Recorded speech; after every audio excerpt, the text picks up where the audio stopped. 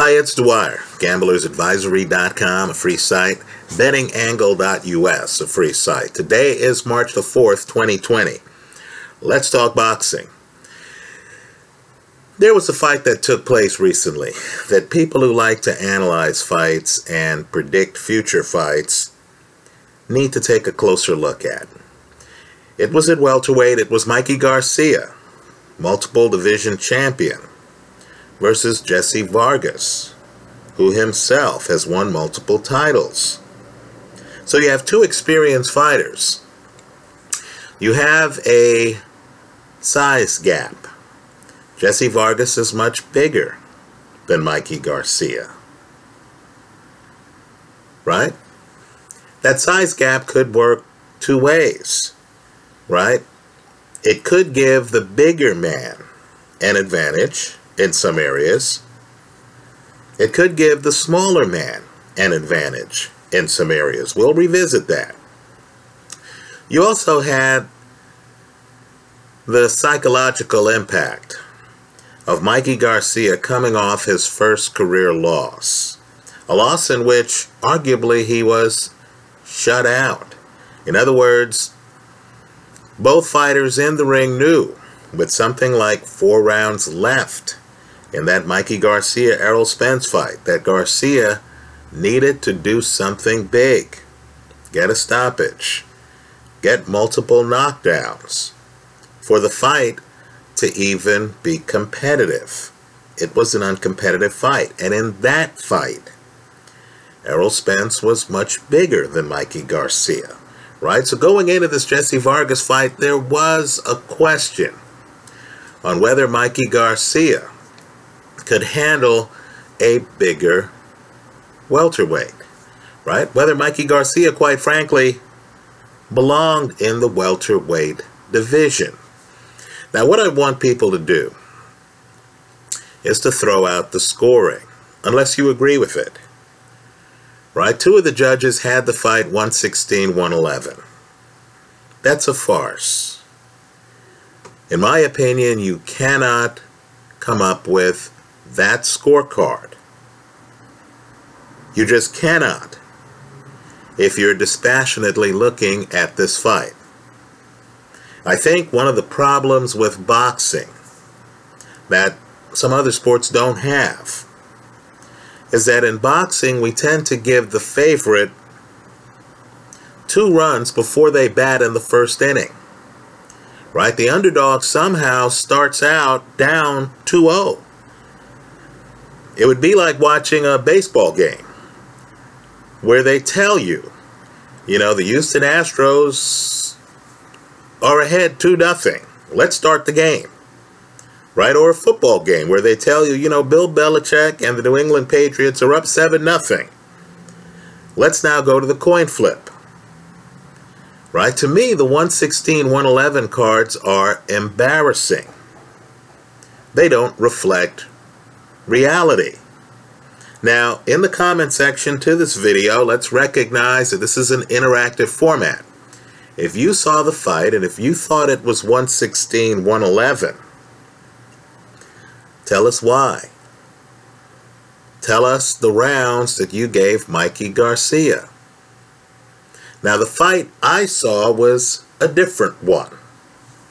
In the fight I saw, and I believe these guys only fought once, Jessie Vargas gets out to a big lead.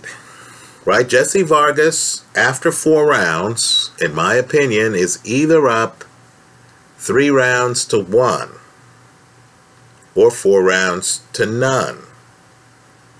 Right? Vargas has a lead going into the fifth round. Now understand, Vargas is fighting a guy who kept running into Errol Spence's jab. Right? Mikey Garcia has a lot going for him. He's a master technician. I thought he would beat Errol Spence. I didn't realize Errol Spence had the back foot that he did. Well, here, Jessie Vargas has more information than Errol Spence did because Jessie Vargas has had the opportunity to watch the Errol Spence fight. Right? Whereas Errol Spence entered the ring without having seen Mikey Garcia lose professionally. Here you had bigger, dare I say, faster Jessie Vargas with a lead. Right? With a lead. Knowing that Mikey Garcia had a problem dealing with length. And understand, Vargas is the bigger man here. Dealing with length, jabs on a back foot. So at the start of the fifth round, if you believe you're dealing with a fighter who is highly skilled, understands, in fact, understood before he hopped in the ring with Mikey Garcia, understood when he was in camp that an effective back foot game behind a jab with movement like Errol Spence showed against Mikey Garcia was effective against Mikey Garcia, one might have expected Jessie Vargas with a two or four round lead going into the fifth round to force Mikey Garcia to come get him. To have to walk into his jab. Understand, the dynamic's different if Vargas is behind. But here you would think Vargas would know he's ahead. So if you're ahead, the smaller man who doesn't have quick feet. You're not fighting Manny Pacquiao. You're not fighting Shawn Porter. Right? Mikey Garcia likes to drive in third gear in the ring. He's not quickly closing gaps. Rather, he saunters over to you. You noticed he wasn't able to get close to Spence. One would have thought that Jessie Vargas would have realized that Mikey wanted him in the pocket. Right? Mikey's a master technician. Understand? While Mikey doesn't move fast, Mikey has a hair trigger left hook. Right? The Declan fight. I believe Mikey ends that fight with a left hook knockout. He has a hair trigger left hook. He has a quick straight right hand and it's short. Right? That's the key with Mikey. His shots are short. He has a hair trigger right hand, but he needs to touch you a little bit with his left before he throws it. Had Jessie Vargas had the skills to set up a back foot and to force Mikey to get through a jab like Errol Spence had, like Larry Holmes had his entire career, like Tyson Fury has. Right? Let's remember Tyson Fury knocked down twice by Deontay Wilder in their first fight, still gets a draw. He's that far ahead. He's four rounds ahead otherwise. That's according to the judges. right? Guys with back foot games, we take it for granted, who have jabs, who can dictate the pace of the fight against a slower footed opponent, would have beaten Mikey Garcia. The fight wouldn't have been competitive you're out to a fast lead. Right? A fast lead. You're up by two rounds. Let's be conservative here. Let's say it's 3 1 after four.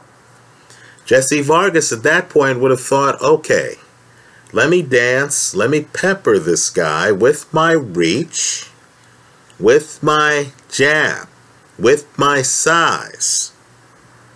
Let me force this guy to eat a lot of jabs in the remaining eight rounds. If some judge is going to see him not land anything big, chasing me around the ring while he's getting hit with jabs, jabs that I can follow up with right hands on, Right? Then I'm going to dare the judges to take this fight from me. Well, it's easier said than done, folks. By the way, Vitaly Klitschko in fights. Guy with a big punch. KO puncher Vitaly Klitschko in fights. When he jumped out to a lead and he understood that you were having a problem with his length, he would just hit you with jabs. Understand, one of the secrets to being successful in boxing is being able to win the slow rounds. If you can win rounds where you're not in the pocket, winging punches, getting hit, doing a lot of dodging, if you can win rounds by being outside, forcing the other guy into your jab, moving, forcing the other guy to miss you, forcing a guy like Mikey Garcia, who is smaller, to have to reach for you, the bigger man. And understand, if you know how to jab and you're outside, the guy's going to have a hard time hitting your body. He's going to have a hard time finding your body. Really good jabbers, guys with a lot of foot movement, don't just lean back when they're relatively close to you to make sure you have to reach that extra distance to get you. But the guys who can dance are so far away from you that they'll only lean forward to jab you right? They're so far away that when you throw your punches, they don't even have to put a hand up. Your punch is going to miss them naturally. Well, Jessie Vargas did not have that skill set. Right? Vargas can move. Vargas can jab. He wasn't Errol Spence. He wasn't Larry Holmes. He wasn't Tyson Fury. He didn't have the kind of movement and jab that could close the door on the fight. So what happens in the fifth round? Now keep in mind, Mikey Garcia and Sergio Mora repeatedly reminds the viewer of it throughout the fight. Mikey Garcia has a very quick straight right hand. So he likes to throw a jab that's really a distraction. Right? The jab is just to tie you up a little bit. You see the jab coming, you're trying to parry the jab, and then, of course, Mikey comes in with the quick right hand. But understand, you have to be close enough to Mikey for Mikey to hit you with it. You have to be around the pocket. Now, Errol Spence, big puncher, Understand, Errol Spence's decision to jab Mikey Garcia was unusual for Spence. Spence is a short-range hooker. Spence likes to come in and mix it up with you. You saw the Shawn Porter fight that Spence had after the Mikey Garcia fight. Right now, understand, Shawn Porter's different than Mikey Garcia. Mikey didn't have the foot speed to run up to Errol Spence. And Mikey likes to stand relatively straight up compared to Shawn Porter. Right? Porter's a guy who bends at the waist. Porter's a guy who comes in low. Porter's a guy who will move his head. So Errol Spence wasn't able to keep Porter at the end of a jab because Porter's game, like Joe Frazier's game, was meant to duck the jab. Right? Was meant to come find Errol Spence. Porter could move with his construct. Mikey Garcia, not so much. Right? Garcia, in my opinion, clear first ballot Hall of Famer. Full disclosure, Garcia is one of my favorite fighters. But understand, Jessie Vargas had a clear opportunity here to close the door in the middle rounds on the fight. Instead, He's around the pocket. It's even worse than that. Mikey starts to look like he's stalking Jessie. Right? Now, understand, guys who have a good jab, who understand the back foot, understand how to circle you so the stalking doesn't look like the shorter man walking you down. They also understand how to use the shorter man's aggression against him. Right? Floyd Mayweather, hair trigger, left hook. Fought a stalker, Diego Corrales. It's one of the best performances I've seen by a fighter. Right? Mayweather, the entire fight, has Morales walking into left hooks. The entire fight. That's a left hook fest. Now here's Jessie Vargas with the lead. Vargas doesn't even have to be bold enough to plant his feet to throw a left hook. All he has to do is stick and move. He has the reach. Fifth round happens. Mikey's walking him down. Just as Sergio Mora said, Mikey Garcia, who has a very quick right hand, throws a left jab. Jessie reaches for it. Mikey comes over, straight right hand. Right? Straight right hand, drops Jessie. So, let's say you had the fight. Three rounds to one going into the fifth. Let's say the knockdown ties the fight for you. Right? Let's say going into the second half of the fight, you're thinking, okay, this fight is tied. You would have thought that Jessie Vargas would have, at that point, at least moved away a little bit. Rather than try to mix it up with Mikey, who you know's a puncher. You know he's a KO machine. All you have to do is look at his record. Right? Online here, you have Mikey sparring with um, middleweights. Right? Ali Setback, a YouTuber, spends a lot of time in the Garcia camp, right? Robert Garcia, Mikey's brother, is one of boxing's elite trainers.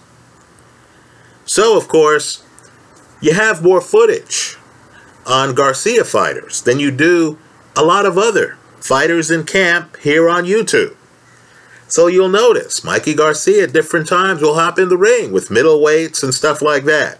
He'll hold his own. You know he has a punch. So you keep waiting for Jessie Vargas to make size matter. Understand, making size matter doesn't necessarily mean being on your front foot trying to throw the guy around. Right? Against a shorter guy who needs to be close to you, who's already lost to Errol Spence's back foot game, who you know you can hit with jabs, who you know likes to fight straight up, doesn't really bounce that much at the waist. What is Jessie doing making this an in the pocket fight? Shouldn't the taller fighter have said, hey, my pocket's actually bigger than your pocket? Shouldn't he have been outside, moving his upper body and jabbing? Let me say this too. Jessie Vargas is an excellent body puncher. No question about it. Right? I thought he beat Adrian Broner I thought if you count the body shots, that fight's not close. But understand the moment here. Mikey Garcia has a quick left hook and a quick straight right hand. He's also a puncher. He's also four inches shorter than you, something like that. Right? Four inches shorter than you.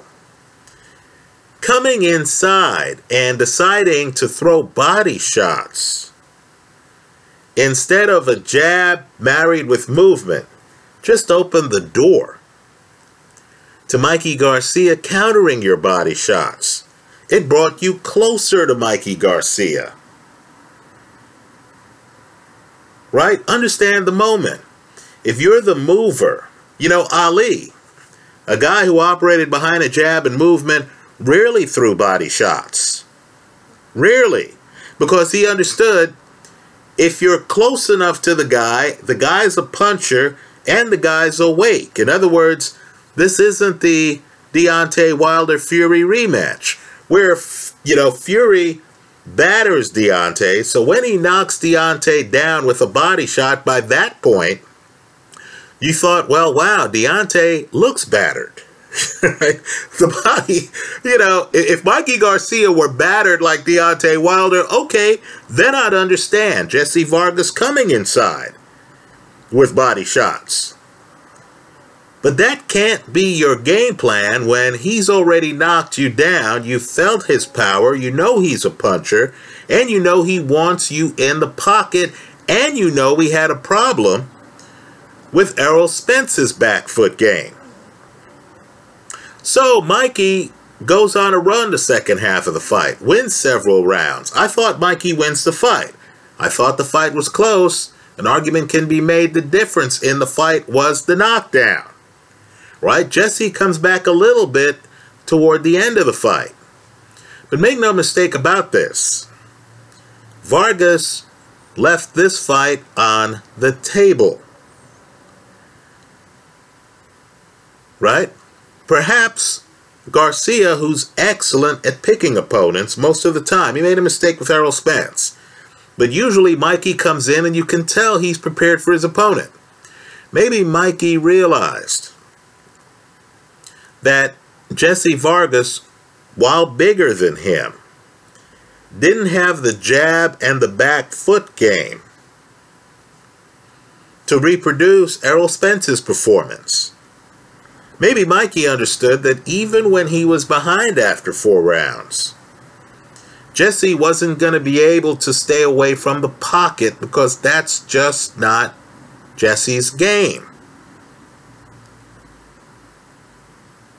Right? I'm just telling you, some huge punchers, Lennox Lewis against David Tua, right? Some huge punchers against shorter guys with big punches themselves. Relied on their back foot, relied on their jabs. Right? Lennox Lewis understood. I don't want to come in here trading shots with David Tua. I'm going to soften him up. I'm going to jab him up. Right? George Foreman, big fighter, much bigger than Sonny Liston, right? Size wise. Big fighter, fought many smaller guys. George Foreman, a guy with murderous hooks, huge power. Right? One of the hardest hitters I've ever seen. Two handed. George Foreman had one of boxing's better jabs. Why Jesse Vargas didn't get on his back foot? I'm just telling you, if Larry Holmes was up on you 3 1, he would have been on his back foot you would have had to go through his jab to get to him if you were a smaller guy. Right? Mikey Garcia, because he's coming up from smaller weights where his size was the norm, right? He hasn't developed the upper body movement of, let's say, someone like Joe Frazier, who would bob and weave his head, right? Mike Tyson, who would come in like this because Tyson knew he couldn't come in standing straight, allowing you to hit him, at least young Tyson, before he runs into Buster Douglas. Right? Shawn Porter doesn't just walk in. Porter knows he has to bob and weave and stuff like that. When the bigger man gets a lead on a smaller man who's not a bob and weaver, especially in a fight right after that smaller man has lost to a guy on his back foot who has him walking into a jab. Right? To me, when the bigger man doesn't show us the back foot, establish the jab. Force Mikey to get through the jab. Neutralize Mikey's power by dictating the rhythm, not allowing him to touch you with the left hand to set up that right hand. When a bigger man doesn't do those things, he's making a mistake. I'm guessing Jessie Vargas knows this fight wasn't a 116 111 fight. This fight was razor close. And in a razor close fight, I'm sure Jessie today knows he shouldn't have been close enough to Mikey Garcia to get dropped. He shouldn't have been targeting Mikey Garcia's body in round 7, 8, 9, and 10. Right? Garcia Garcia is 100% at that point. Right? Against a big man like this, you should be riddling him upstairs. When you start to bust up his face and he gets desperate and he's hurt, then you can go to the body. Anyway, that's how I saw it. Just understand if Vargas fights Garcia again, right? I'm just telling you this first fight was close. Any rematch would be interesting. Notice too that after this fight, Garcia called out another shorter fighter, Manny Pacquiao. Right? Garcia wants to take on someone his size. Right? I believe he understands. And I know Garcia beat Robert Easter in the past. Garcia's beaten taller fighters in the past. But I think Garcia now post Errol Spence. And I know he called out Spence. I don't think he wants any part of Spence again. Some things, some call outs in boxing are political. But I think Garcia understands that he's better off with a guy who needs to enter the pocket. Right? A guy who there's film on. The Marquez fights. On a counterpuncher. Timing Manny Pacquiao. He's better off against that kind of opponent than he is, let's say, a tall guy who can keep him outside with a jab and who could use his length against him and who isn't going to be silly enough to be bending over like Jessie Vargas was, reaching for his body. You almost got the feeling that Jessie Vargas hasn't watched the Razor Ruddock Lennox Lewis fight, where Razor Ruddock reaches for Lennox Lewis's body early. And of course, Lewis just times it. So that's when he hits Ruddock. After Ruddock has foolishly, against Lennox Lewis, come inside the pocket and left his head open. Right? Mikey Garcia lived for those moments against Jessie Vargas. He made the most of them. I thought he won the fight. I thought it was a close fight. I thought Vargas misplayed it. After jumping out to a 2, 3, or 4 round lead after the first four rounds. That's how I saw it. Let me hear from you. I'd love to get your take on that fight. Thanks for stopping by.